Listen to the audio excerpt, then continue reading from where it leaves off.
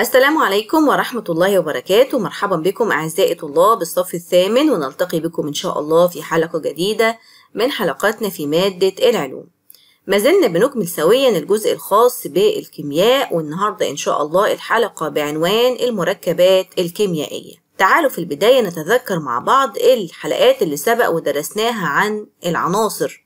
وكنا وقتها عرفنا العنصر وقلنا إنه بيتكون من نوع واحد فقط من الذرات. تعالوا نتذكر بأمثلة.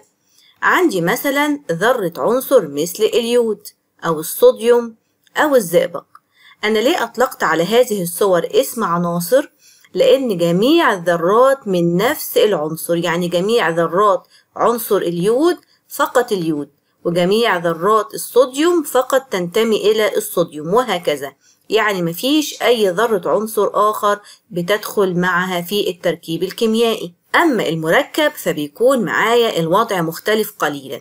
من اسمه مركب معنى كده إن ممكن يكون عندي اتحاد أكثر من عنصر ويكون لدي المركب. وممكن نقوم بعمل معادلة بسيطة يعني مثلا عنصر بالإضافة لعنصر آخر يعطيني مركب.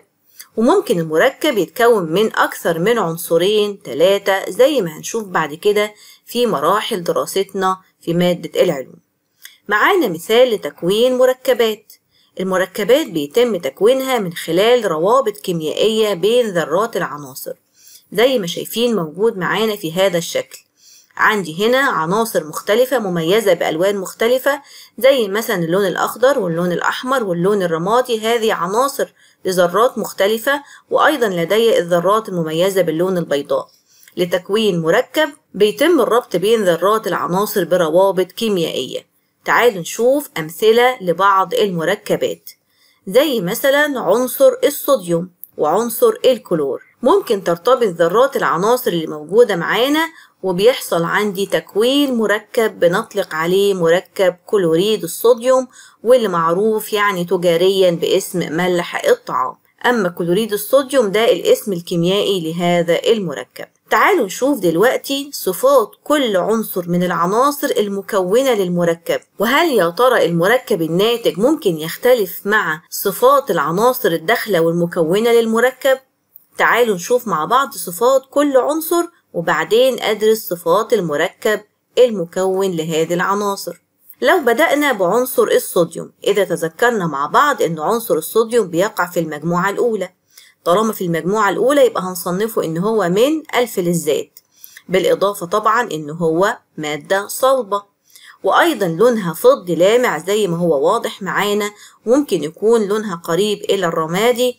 وإذا تذكرنا إنها كانت شديدة التفاعل مع الماء.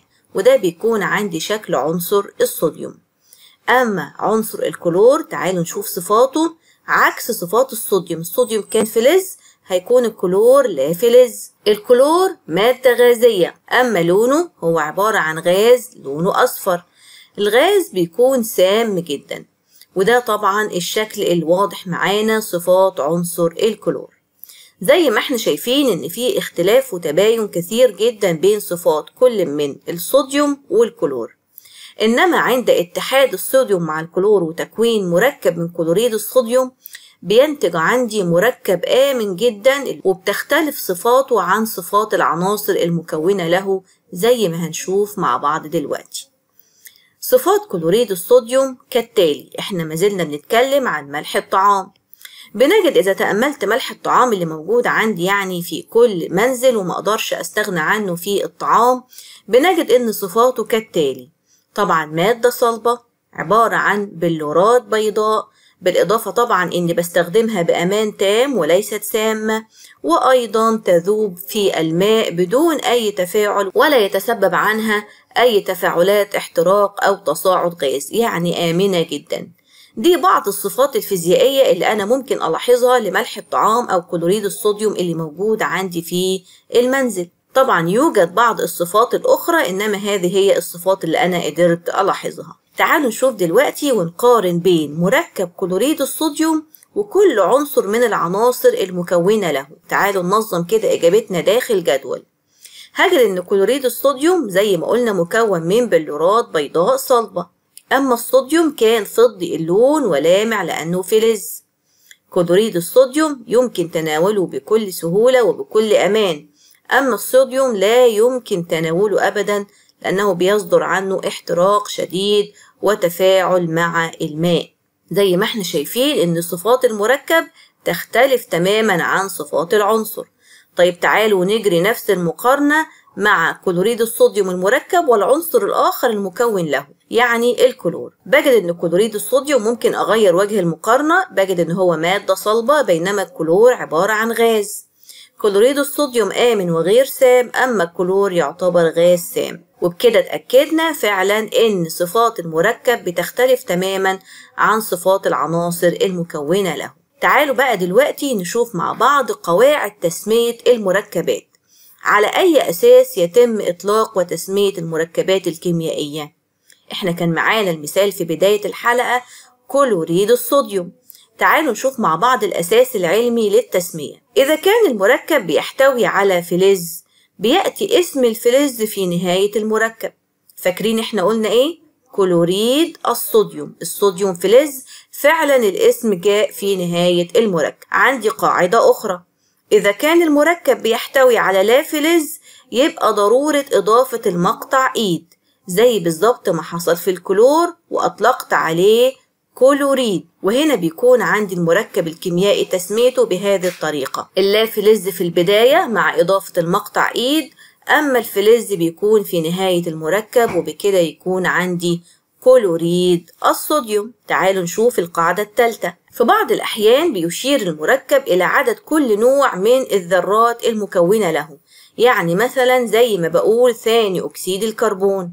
معنى كده إن هذا المركب بيتكون من ذرتين من الأكسجين وذرة من الكربون. ممكن مثلا أقول أول أكسيد الكربون. معنى كده إنه بيتكون من ذرة واحدة من الأكسجين وذرة واحدة من الكربون. أما القاعدة الأخيرة إذا كان المركب بيحتوي على ثلاث عناصر مش عنصرين إنما ثلاث عناصر يكون من بينها الأكسجين. بيبدأ عندي المقطع اللافلز أضيف له المقطع آت. زي ما هنشوف دلوقتي كمثال كربونات الكالسيوم. اتفقنا إن الشق الفلزي بيأتي في نهاية المركب وعندي الكالسيوم من الفلزات. أما كربونات فهي مكونة من الكربون والأكسجين فأبدأ أضيف المقطع آت للشق اللافلزي وبتكون دي عندي قواعد تسمية المركبات. لازم طبعا نقوم بالتطبيق علشان نقدر نفهم الجزء الخاص بتسمية المركبات المختلفة. تعالوا نشوف مع بعض بعض التطبيقات ثم ننتقل إلى التمارين. ما العنصران المتحدان في كلوريد الصوديوم؟ أعتقد يعني الأمور واضحة جدا في كلوريد الصوديوم لأن إحنا قلنا في أول حلقتنا إنه بيتكون من الصوديوم والكلور. أما كبريتيد الهيدروجين فبيكون من الهيدروجين والكبريت. أكسيد المغنيسيوم أكسيد باخذ هذا المقطع وبيشتق من الأكسجين والمغنيسيوم. أما السؤال التالي كتب طالب هذا الاسم لمركب مكون من الكالسيوم والكبريت. وأطلق عليه كالسيوم كبريت. ما الخطأ في هذا الاسم؟ وكيف يمكن كتابته بشكل صحيح؟ طبعا هنا عندي الكالسيوم من العناصر الفلزية أما الكبريت من اللافلزات. يبقى هنا الخطأ اللي قام به هذا الطالب إنه وضع الشق الفلزي في بداية المركب ولم يضيف المقطع إيد للجزء اللافلزي. أما التسمية الصحيحة هتكون كالتالي. كبريتيد الكالسيوم. ما العناصر الثلاثة المتحدة في نترات الكالسيوم؟ طالما عندي المقطع آت يبقى موجود عندي في هذا المركب الأكسجين. نترات يبقى بتشتق من النيتروجين يبقى عندي كمان نيتروجين وأكسجين وكالسيوم. ما العناصر الثلاثة المتحدة في كربونات المغنيسيوم؟ نفس الأمر بتنطبق نفس القاعدة. كربونات معناها إن بتحتوي على كربون وأكسجين لأني أضفت المقطع آت بالإضافة إلى المغنيسيوم. وأخيرا العناصر المتحدة في كبريتات الليثيوم. سهل جدا واضح إن عندي هنا عنصر الكبريت ثم الأكسجين لأن موجود عندي المقطع آت بالإضافة إلى الليثيوم. كبريت وأكسجين وليثيوم. دلوقتي جه ميعادنا مع تطبيق على التمارين ما اسم المركب الذي يتكون عند تفاعل العناصر الآتية؟ مطلوب مني أني أذكر اسم المركب من الحديد والكلور. يبقى عندي طبعا هقول الشق اللافلزي في البداية اللي هو الكلور وأضيف له المقطع إيد. ثم أختم اسم المركب بالجزء الفلزي وهو الحديد. يبقى عندي كلوريد الحديد. الصوديوم والأكسجين. أبدأ بالجزء اللافلزي هيكون عندي أكسيد الصوديوم.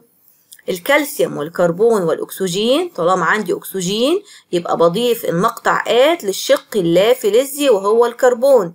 يبقى عندي كربونات الكالسيوم.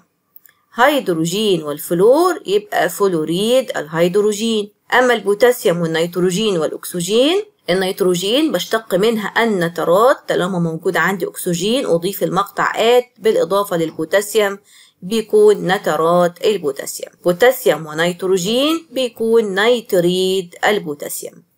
تعالوا نتناول جزء آخر من التمارين إنما المطلوب مني في هذه المرة إني أذكر أسماء العناصر المكونة لهذه المركبات. أكسيد المغنيسيوم معنى كده إن موجود عندي أكسجين ومغنيسيوم. ثاني أكسيد الكربون اتفقنا إن في بعض المركبات بيكون بيدل عليها عدد الذرات المكونة لها. يبقى عندي أكسجين وكربون.